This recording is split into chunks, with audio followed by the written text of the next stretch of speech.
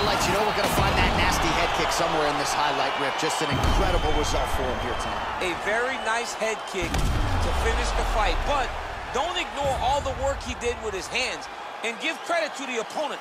The opponent was in there every step of the way.